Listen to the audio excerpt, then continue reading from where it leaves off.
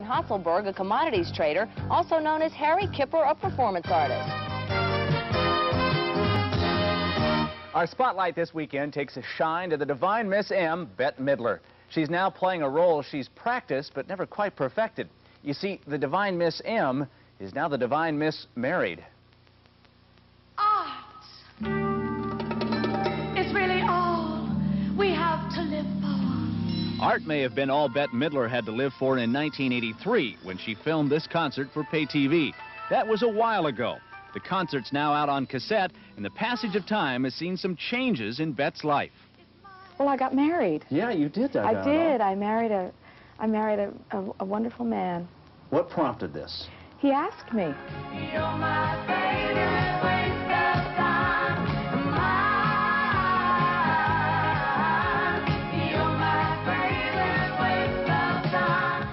So now, Bette's favorite waste of time is Harry Kipper. They were married last December in Las Vegas.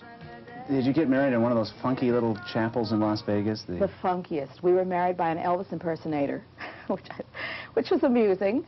Very late in the morning, like 2.30 in the morning. I still cannot believe that we actually did it. But we, I say to him, gee, we, we're married. I'm very confused, but I like it. I do like it. I highly recommend it if you find someone you can stand. Can you go home now and just pour out those problems to him? Sure, I do that, but you know, it's you. Ha you have to. Then you have to sit and listen to his problems too. That's the part I never figured out. God, well, you get to talk, and then he gets to talk. Oh, that's so unusual. Because usually I, I do all the talking. But it's um, I'm learning to listen, and I like it. Is this the first fellow that you really felt you could do this with? Oh no.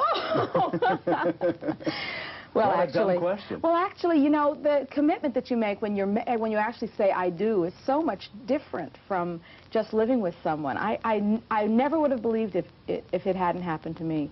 I mean, you you know, when you somebody lives with you, you you always think in the back of your mind, uh, "I'm going to throw this bum out in another week or two. If, after all, it's my house. But you know, it doesn't work like that when you're married. You really want to make it work. You think, oh, maybe I did do the wrong thing by, well, I, I'll just try to be better. You know, you really do make an effort.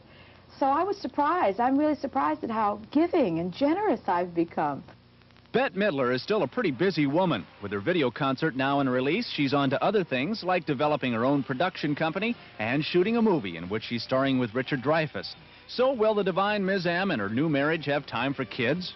I don't know. I've never had one. I don't know that it would be fun. You think it'd be fun? I've never had one I think either. if they're your own, you really like them. I heard you're supposed to really like them. But uh, I don't know. I'll give it a shot if my eggs aren't too old. You know how they say, you know, when a woman is born, she has all her eggs. so, so my eggs are my age. You know, and those eggs are not, you know, no spring chickens.